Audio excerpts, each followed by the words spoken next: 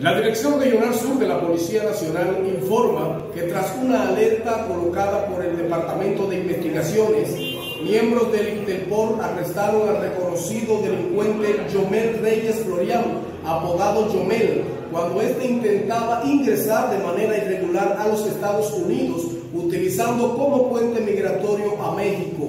El detenido fue custodiado hasta la sede de esta Dirección Regional Sur por tener en su contra siete órdenes de arresto y conducencia por múltiples hechos delictivos.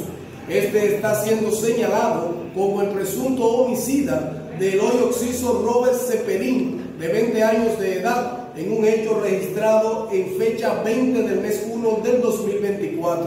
Además, Yomel era buscado por múltiples robos y atracos a mano armada incluyendo un incidente en el cual resultó herido de arma de fuego un adolescente de 15 años.